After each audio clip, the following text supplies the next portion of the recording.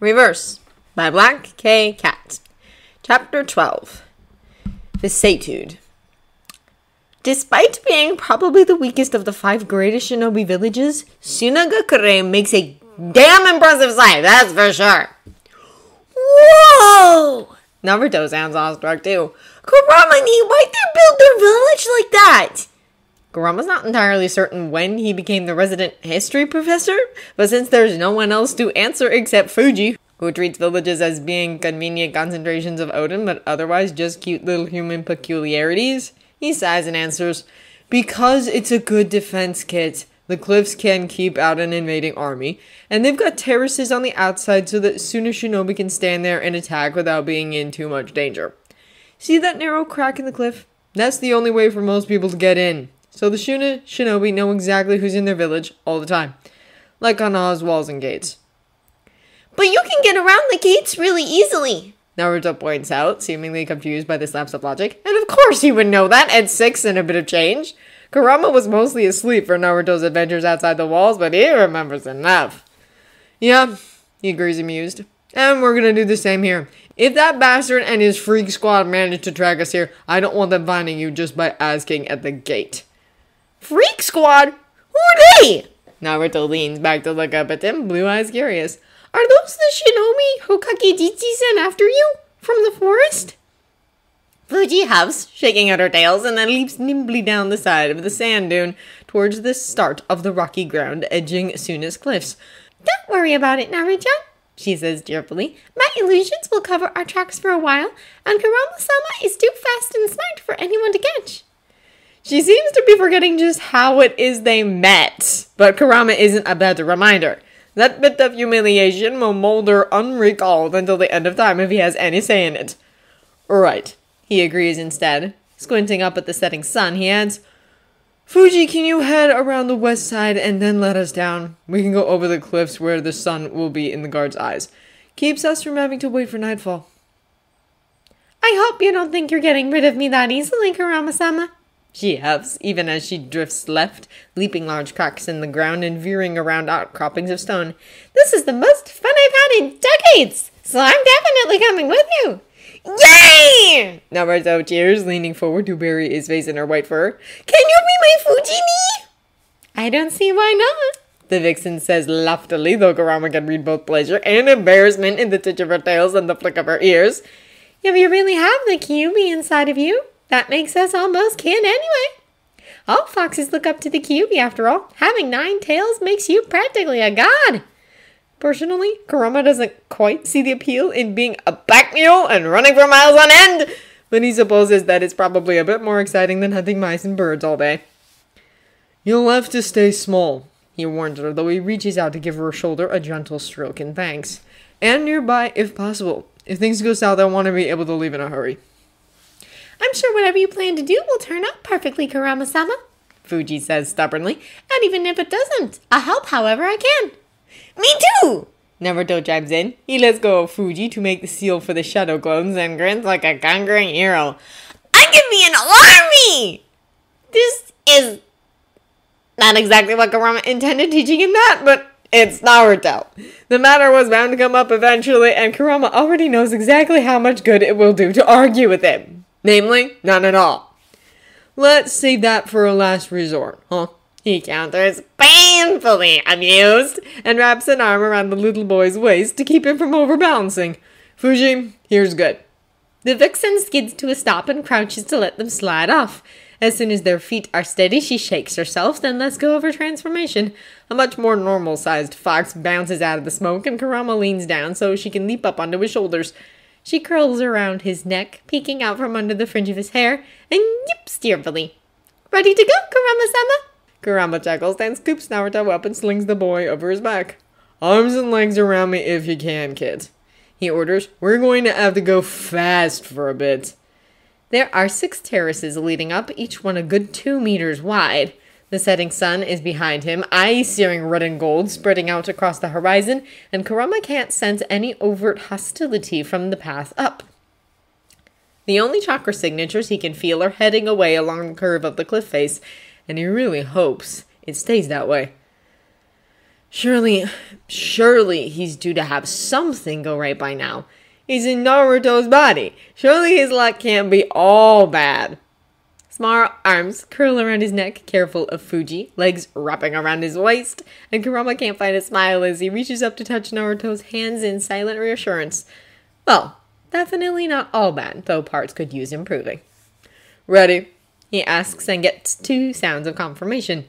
Taking a breath, he channels just a trickle of chakra, not enough to be noticed, but enough to give him some power, and leaps, bouncing up the first three terraces.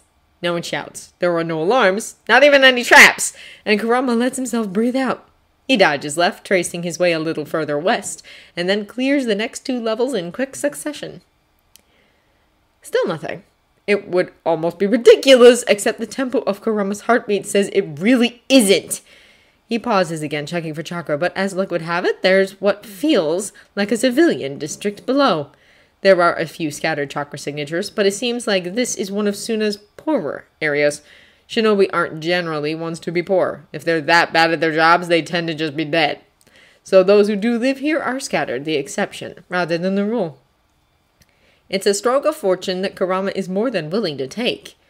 With all the speed he can muster, he leaps forward, clearing the last terrace and hurling himself right over the lip of the cliff. There's another road carved out of the rock about halfway down, and Kurama throws himself across it in a blur, one hand on Naruto's back, the other hanging onto Fuji, and then flips over the side and down into thick shadows. In the alley, someone startles, dropping something, but Kurama doesn't stick around to see if they'll raise an alarm. He bolts into the deep gloom of the surrounding buildings with the wall looming overhead and lets the darkness swallow him. Everybody okay back there? He asks as soon as they're a safe distance from curious ears, tucked back behind what smells like a restaurant. Kurama eyes the handful of neatly stacked bins sitting outside the back door for a moment, then drops to one knee and lets Naruto slide down. Can we do that again? Naruto sounds breathless, and he's grinning widely when he grabs Kurama's hand. Kuramani, that was so cool! Despite himself, Kurama chuckles and reaches out to ruffle the messy blonde hair. Glad you approve, kid. Fuji, you good playing a fur ruff.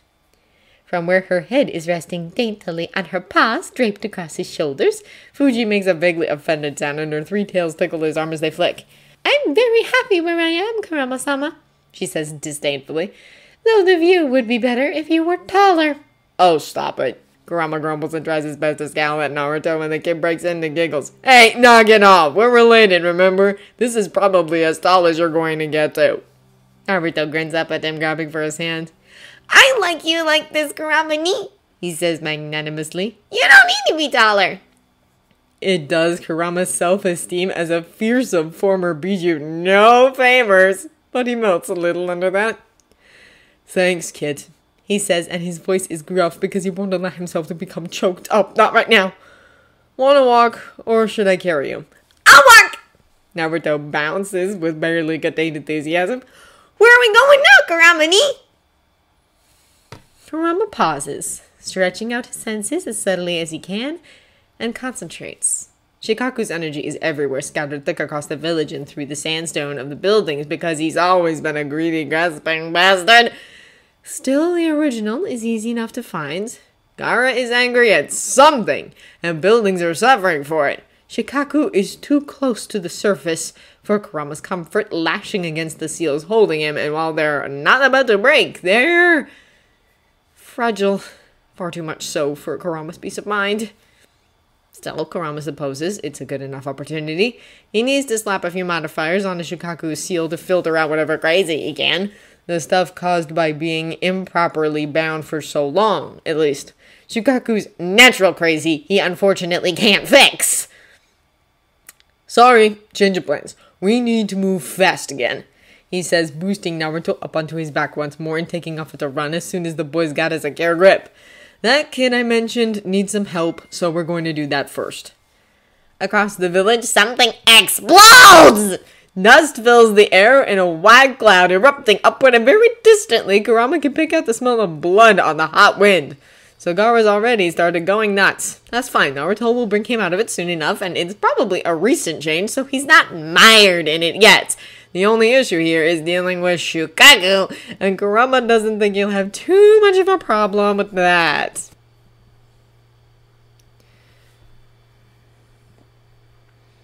It's easy to tell when they're getting close because everyone is running the opposite direction, even the shinobi. Kurama wants to stop and call them all cowards, but just sets his teeth and sticks to the edges of the retreating crowd, trying not to be noticed. A few people cast him glances, but most are too occupied with getting to safety to make note of someone moving at shinobi speeds in the shadows. Up ahead, the streets empty out completely, and Shukaku's murderous chakra gets heavier. Kurama pauses, glancing around, and then leaps up the side of a flat topped apartment building. Stay here. He tells Naruto, Fuji, keep an eye on him. I have to go beat some sense into that idiot's thick head, and I don't want either of you getting caught in the crossfire. The vixen yips softly, hopping down and going to wind around Naruto's legs. Before Kurama can move, though, Naruto catches his hand again and asks warily, You're gonna come back, right, Kuramani? Course I am, kid. Kurama promises, leaning down to press a kiss to his bright hair. You're the most important thing in the world to me. I will always come back for you. That gets him a smile as bright as the sun. Good luck, Kuramani. I know you can win. Kurama chuckles, rising to his feet. Shukaku roars, clearly about to break free entirely, and it makes him turn, leaping down into the epicenter of the destruction. He takes a breath and lets go, his chakra rising in a corrosive blood red surge to meet the Ichibis and then shouts, Oi, Shukaku! Who's got your panties in a bunch this time, you touchy little bastard? Within the dust and rubble, something stills, then stirs. Kurama flicks a hand out and wind whips past him just enough to dispel the cover. What was once probably a nice square is now little more than a wreckage of shattered stone and debris, clothes and other things scattered through it. In the center, the area around him seething with animated sand, stands Gaara, no more than Naruto's age, with dead eyes and sand coating his body. Even as Kurama watches, more slides over him, and it's easy to recognize the beginnings of his transformation into a human-sized version of Shukaku. Ew. Gaara says, and it's layered with Shukaku's deeper voice. Don't call me my name like you know me, you puny little human. I am. Yeah, yeah, the great and terrible Ichibi, possessing the fewest tails of any of the tail beasts, but somehow still so high and mighty. Kurama scoffs, crossing his arms over is just unearing his eyes. Look at you! You really think this is what the sage meant our power for, you idiot? You're corrupting a child, and you're even doing that badly! For all the times he gives in, how many times does he resist you? How many times has little Gaara here shown just how much stronger than you he is? Shukaku owls with rage, lashing out, but Kurama sees it coming and hurls himself to the side, then shoves Chakra towards his feet. It flips up and over, landing on Shukaku's far side, even as Shukaku spins toward the spot Kurama used to be. With a snarl of victory, Kurama lunges forward, Chakra gathering in his palm, and slaps a hand against Shukaku's sand. Fire blooms beneath his touch, roaring out, in the heavy coating of earth crackles as it hardens. Shukaku screams, whipping around, but Kurama's already gone, landing lightly behind his shoulder. I'll kill you. Shukaku screams, Your blood will soak my sand because no one can surpass my. Another wave of fire falls away, and Kurama smacks. He drops into a crouch, flexing his clawed hands against the sandy earth and taunts. How about a test then, little brother? My speed and fire against your sand and automatic defense. The winner gets that little boy you're torturing. Sound fair? Seeing that the Tanuki is about to start screaming again, he adds with all the casualness he can manage. Oh, wait, never mind. You always were too scared to bet against me, Shukaku. I guess a few centuries haven't changed anything, huh? There's a long moment of silence, and then Shukaku hisses like a tea kettle releasing steam. Kurama, he growls. I heard the humans locked you away as well. You managed to consume that little creature's soul entirely and take that body? I'm impressed. The memory of his Naruto falling empty eyed and devoid of life hits Kurama so hard and suddenly that for a moment he can't even breathe. His entire chest seizes as pain lances through him and he snarls automatically. His chakra redoubles, lashing furiously against Shukaku's and Kurama throws himself forward, edged with power, his long nails scored deep into ardent sand and he blurs away before Shukaku can even turn to catch him. Another hit scoring deep into one of the Tanuki's arms. Another to the back of the head. Another, another, another. The perfect balance of chakra caught in the palm of his hand is spinning like a hurricane, negative and positive, dark and light, caught up together in a violet edged snarl of power and intense, but bigger than ever before, not nearly enough to kill. It was a gift! Kurama screams above Shukaku's roar of frustration. A sacrifice for me! I can't help you understand right now, you self-obsessed bastard, but someday I will make you! He doesn't let the Bijudama go, but leaps forward, aiming straight for Shukaku's chest. It won't hurt Gaara, not at half power like this, but an impact like a detonation, and is like being caught in the heart of a sandstorm. Sand explodes outward, stinging and biting, and Kurama throws up an arm to shield his face. There's a ripple of chakra as the pressure vanishes entirely, Shukaku retreating with a last wounded roar as a small form becomes visible through the cloud. Red hair glows in the light of sunset as Gaara wavers and Kurama automatically steps forward to catch him. The small, fragile body is humbles into his arms, and Kurama lifts him, murmuring mindlessly soothing nonsense as he tucks the kid's head under his chin. Chakra pools in his free hand, and he presses it to the back of Gaara's neck, etching the seal into his skin as gently as he's able. Gaara makes a soft sound of surprise and faint pain, but Kurama strokes his hair, whispering, Sorry, sorry. Is that better? Can you hear him any more? There's a long, careful pause, and then Gaara looks up. Wide, aquamarine eyes stare at him for a second, and then Gaara breathes. Mother? He ain't your mother, kid, Kurama says dryly. It's a good thing, believe me. He reaches up, touching the kanji that's only just started to scar over on Gaara's forehead, and adds, Your real mother loved you. She poured all of her love into your sand right before she died. Why do you think your automatic defense is so strong? Gaara's breath catches and he drops his eyes. You shouldn't touch me, he says, trying for anger, but it wobbles as it comes out. I'll. I'll kill. You won't. Kurama hesitates, then ruffles his hair. Besides, I can handle Shukaku, kid. Leave my stupid little brother to me. You've got more important things to worry about. Like friends. I have no friends, Gaara says, and that at least comes out sharp with an edge of fury that means the pain still hasn't healed. No one loves me, and I don't want them to. I live only for myself. Mother understands. Not your mother. Kurama repeats, rolling his eyes. Tanuki always making things harder than they have to be. When the six-year-old starts to jerk in his arms, sand hissing threateningly around them, he just shifts the boy to his hip, then leaps up to the top of a collapsed wall, and from there jumps back to the rooftop where he left Naruto. Kuramani! Naruto shouts the instant they touch down. He rushes forward, throwing himself at Kurama as the redhead crouches down and accidentally catches Gaara in the enthusiastic hug as well. Kuramani, that was amazing! You've got to be the best shinobi ever! Can you teach me to be as awesome as you? Can you, please? No one's as awesome as me, kids. Kurama laughs, setting Gaara down and raising a brow when he skitters backwards away from Naruto's bright grin. But I think you might manage to get close someday with a lot of training and a bit of luck. He waves a hand between the two boys. Naruto, Gaara. Gaara, Naruto. You're a jerky. Naruto's entire expression lights up and he reaches forward to catch Gaara's hand. Gaara flinches, the scattered sand around their feet rolling closer, but Naruto just beams. Let's be friends! He proposes. I've never had a friend besides Hokage Jiji before, but I've always wanted one!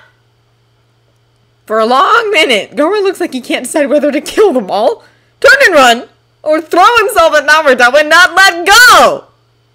He stares at the blonde for a moment, then shifts his gaze to Kurama, who gives him a small, cookied smile. You'll be fine, Gaara, he says softly. I tweaked the seal holding Shukaku back. It'll take a lot more than just you getting angry or scared for him to escape now, so you don't have to worry about hurting anyone. Blue green eyes go very wide, and Gaara looks down at where Naruto is still clutching his hand. I. I always wanted a friend too, he admits just barely above a whisper. You'll be my friend? Yeah! Naruto agrees, all but vibrating with excitement. He turns, bouncing in place, and crows, Kurama-ni! Kurama-ni, look! I got my first friend! Kurama laughs, reaching out to ruffle his spiky ears. Yeah, kid, I can see that.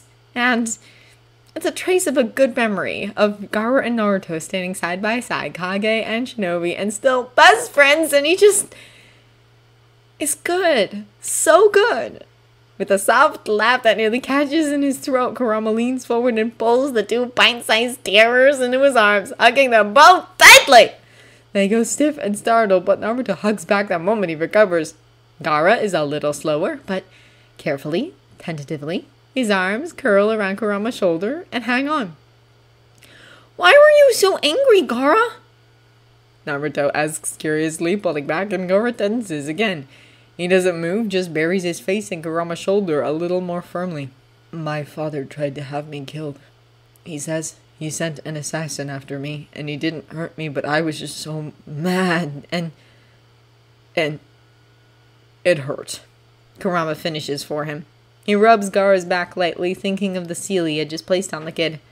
The armor of sand should be enough to keep him safe, even with Shukaku pushed down, but what if it's not? The Kazekage is a bastard, and what if he sends other assassins? It's not the best situation. Why don't you come with us? Naruto asks, blue eyes intent. Gaara, we're going to cool places! Kuramani already took us to River Country and all across Wind Country, and I'm sure it's okay for you to come. Right, Kuramani? Kurama supposes to take Chicago to look after two little kids was always a bit of a long shot to begin with. Besides, what's to lose? Leaving Gaara behind will just upset Naruto, and if the kid dies because of something Kurama did to him, well, he's never loved Gaara the way he loved Naruto, but the redhead was always tolerable. A friend, even when he was no longer a Jinchuriki, and Chikage was fond of him. That's reason enough to take care of this emotionally fragile, miniaturized version. Sure, he agrees, and doesn't let himself sigh. Fuji, you're good to carry one more. From where she's been perched on a low stone wall watching the reunion, Fuji huffs. Of course, Kurama-sama, she says. It's not like he's all that heavy.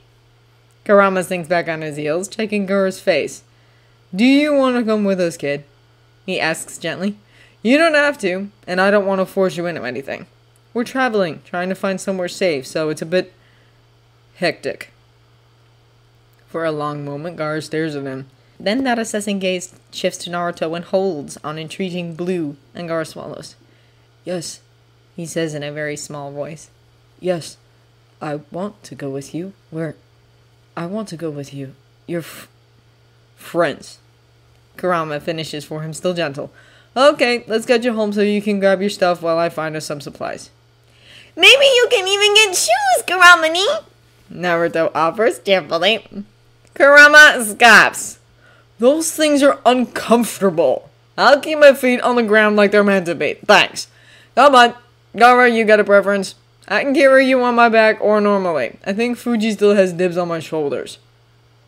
That gets him another wide-eyed look. You're going to carry me? He asks.